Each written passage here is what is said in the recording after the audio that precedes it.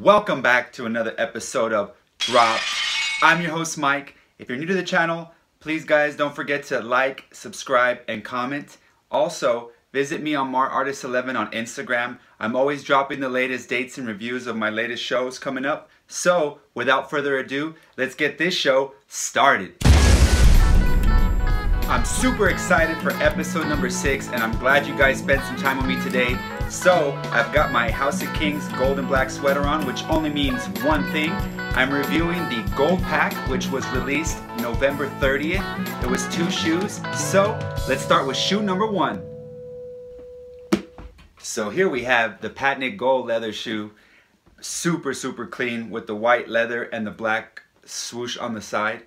This shoe, guys, when I first saw it, I mean, I just had to add it to the collection. It looks like a trophy to me. So, I mean, what collector wouldn't want to have this? So it didn't matter if it was a low or a high.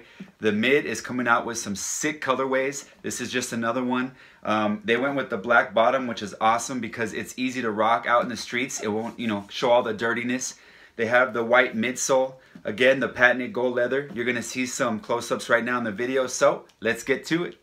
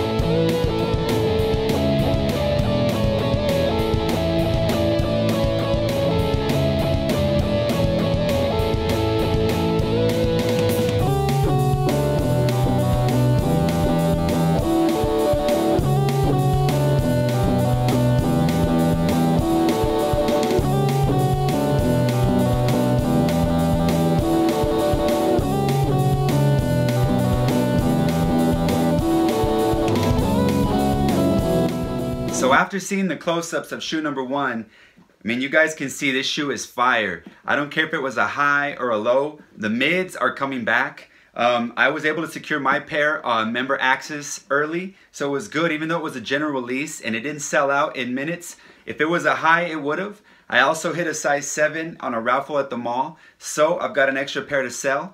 But these shoes are super, super clean. Shoe number one, guys, the Mid SE Gold. Gold pack number one. Let's check out shoe number two. Before we jump into the review of shoe number two, I gotta tell you how I got it. So this next one is a high. Um, it was also released on November 30th, the mid Jordan 1. Um, I didn't get it on SNKRS app. I missed on all the raffles at the malls, so I thought I just missed it. But what's great about the sneaker community is you have friends and they also have a love for sneakers and the passion. So I had a friend who actually hit my size of this shoe and I was able to hit a size for him on this shoe. I wasn't really going after it even though this shoe is super clean. Um, it just released. This is the Jordan 9 University Blue. I mean, again, this shoe is awesome, but I'm glad to have gotten a pair for my friend because he really wanted it. So we traded. So again, awesome thing about this sneaker community is that people will look out for each other that way. So hopefully in the future, if there's a shoe that he needs or a shoe that I need and we're able to do the same thing or with anybody else, that's super cool. Trades are also super cool. So let's get down to shoe number two, which is this box. Jordan 1, you already know. Shoe number two.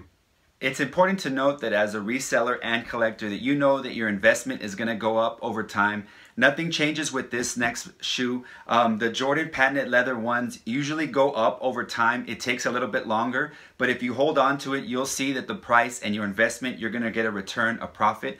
This shoe released four times before in different colorways, but kind of similar. The first one was the patented gold toe, a size 10, now resales for $405.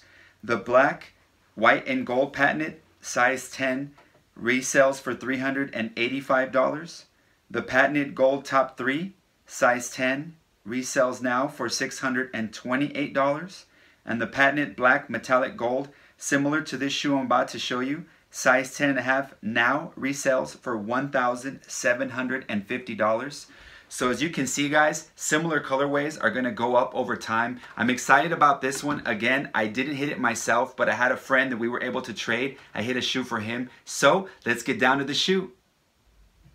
Shoe number two, the black metallic gold colorway. I love the patented leather on the Jordan 11, but this whole shoe is patented leather. Um, there's a lot of people that like this colorway. Uh, the gold and black, don't get me wrong, is sick combination. But on this shoe, it is a collector shoe. I'm glad I got it. But to rock it, I don't know if I would ever wear it. I don't know. Comment down below and let me know what you guys think. It does come with an extra pair of sick gold laces, so that would be kind of cool to see it. Um, I am going to leave this one dead stock in case I ever resell or trade in the future. But again, guys, let me know what you think. I think they are fire. They're just not my style. But let's get some close-ups so you can see what I'm seeing.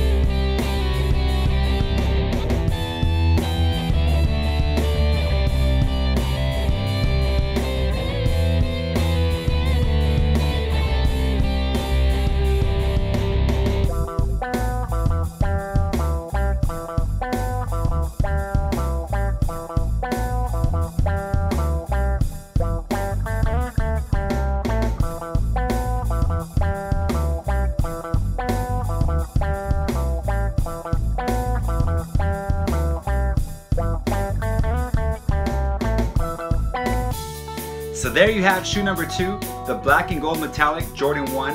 Guys, comment, let me know what you guys think. Was this caliente or was it miel? Compared to the Jordan 1 gold, both of them are super, super clean. I'm glad to add them to the collection. Again, guys, thank you very much for stopping by for episode number six of Drop, the gold edition. I got my House of Kings gold and black sweater on, so guys, go check them out. Also, don't forget to check out my Mar Artist 11 page where I'm also dropping the dates and releases of these shows coming up. Don't forget to check out my other five previous shows. And once again, guys, have a great day. Thank you, and we'll see you next time.